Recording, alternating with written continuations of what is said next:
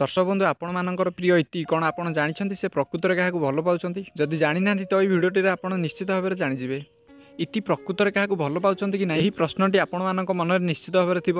ଏଥିରୁ ଆପଣ ଜାଣିପାରିବେ ଯେ ପ୍ରକୃତରେ ଇତି କାହାକୁ ଭଲ ପାଉଛନ୍ତି ଆରବକୁ ନା ତାଙ୍କ ଫ୍ରେଣ୍ଡ ସଞ୍ଜୟକୁ। ତ ସେଥିପାଇଁ ଭିଡ଼ିଓଟିକୁ ପୁରା ଶେଷ ପର୍ଯ୍ୟନ୍ତ ଦେଖନ୍ତୁ। ଆଉ ଆପଣ ଯଦି ଆମ ଚ୍ୟାନେଲକୁ ନୂଆ ଆସୁଛନ୍ତି ତାହେଲେ ସବସ୍କ୍ରାଇବ୍ କରି ପାଖରେ ସୁଦ୍ଧା ବେଲ୍ ଆଇକନ୍କୁ ବଜାଇ ଦିଅନ୍ତୁ। ତ ଦର୍ଶକ ବନ୍ଧୁ ଆପଣ ତ ଜାଣିଥିବେ ତରୁଣ ଟିଭିରେ ପ୍ରସାରିତ ହେଉଥିବା ସିନ୍ଦୁରର ଅଧିକାର ଧାରାବାହିକରେ ମୁଖ୍ୟ ଅଭିନେତ୍ରୀ ଭାବେ ଅଭିନୟ କରୁଛନ୍ତି ଇତି। ଆଉ ଏଥିରେ ଲିଡ୍ ହିରୋ ଭାବରେ ଅଭିନୟ କରୁଛନ୍ତି ଆରବ।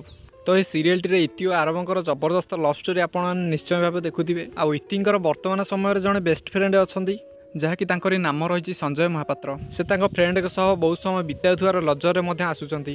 ସେ ତାଙ୍କ ଫ୍ରେଣ୍ଡଙ୍କ ସହ ସପିଂ ମଲ୍ ଏବଂ ପାର୍କ ଯାଉଥିବାର ନିଜ ସୋସିଆଲ ମିଡ଼ିଆ ଆକାଉଣ୍ଟରେ ଫଟୋ ଗୁଡ଼ିକ ସେୟାର କରିଛନ୍ତି ଯାହା ଏବେ ବହୁ ମାତ୍ରାରେ ଭାଇରାଲ ହେବାରେ ଲାଗିଛି। ତ ଫ୍ରେଣ୍ଡସ୍ ଏଠାରେ ଆପଣ ଭାବୁଥିବେ ଯେ ଇତି ପ୍ରକୃତରେ କାହାକୁ ଭଲ ପାଉଛନ୍ତି?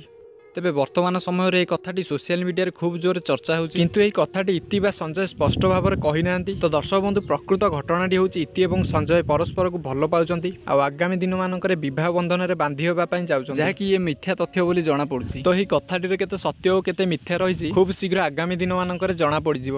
ତ ଫ୍ରେଣ୍ଡସ୍ ଇତି ଓ ଆରବଙ୍କର ଯୋଡ଼ି ଆପଣଙ୍କୁ କେମିତି ଲାଗେ? ଆମକୁ କମେଣ୍ଟ କରି ଜଣାନ୍ତୁ। ଆଉ ଚ୍ୟାନେଲକୁ ସବସ୍କ୍ରାଇବ୍ କରିନଥିଲେ ଚ୍ୟାନେଲକୁ ସବସ୍କ୍ରାଇବ୍ କରି ପାଖର ସୁତା ବେଲ୍ ଆଇକନ୍କୁ ବଜାଇ ଦିଅନ୍ତୁ।